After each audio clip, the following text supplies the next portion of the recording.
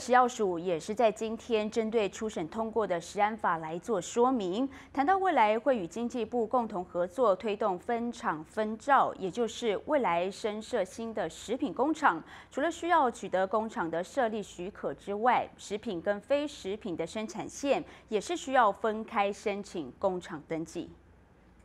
食品业别必须跟其他的业别是分别的啊，是分厂的规定。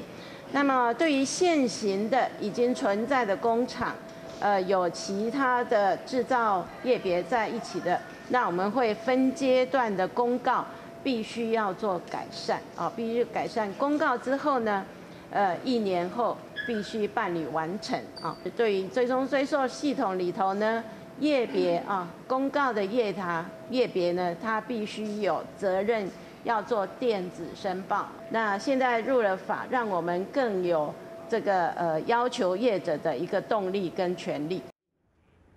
至于旧厂部分，也将辅导业者，让食品工厂榨油及饲料的生产线能分别申请工厂登记，让管理资料流程与原物料控管等等可以进行分厂管理。工业局已经先邀中部办公室以及各县市政府讨论，看是否有挚爱难行之处。那么目前国内的食品与饲料厂要分厂的大约有两百到三百家，规模比较大的食品厂，因为财力雄厚，比较有资源，如果进行分厂。分照重新配置生产线的问题就会比较小，分厂分照仍然是需要庞大资金购置新的设备。经济部将辅导中小型的食品厂尽快在半年之内辅导完毕。另外，前味全董董事长魏魏应云在今天凌晨一点十分被解送到彰化地院，而魏应云是否会随着正义老总何玉仁以及鼎新代理董座陈茂佳等人收押，备受外界关注。